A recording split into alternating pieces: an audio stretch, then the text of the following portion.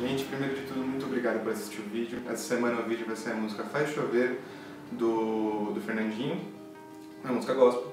E eu queria explicar um pouquinho do equipamento que eu usei para fazer esse vídeo, que é o seguinte, como eu estou passando aí para vocês, eu usei violão de nylon que vocês inclusive viram no, no vídeo da, da Aline Barros, que eu usei para fazer só o violão puro para fazer a melodia.